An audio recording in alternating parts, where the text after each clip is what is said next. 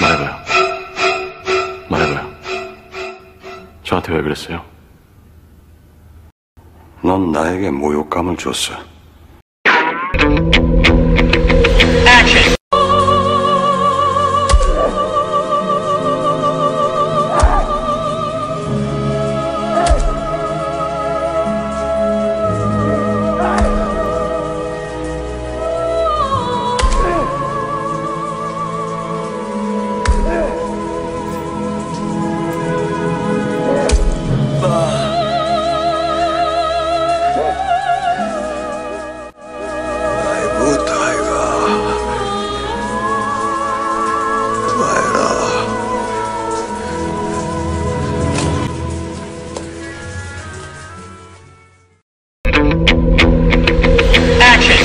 회장님, 올림픽 들어가 막힐 것 같습니다.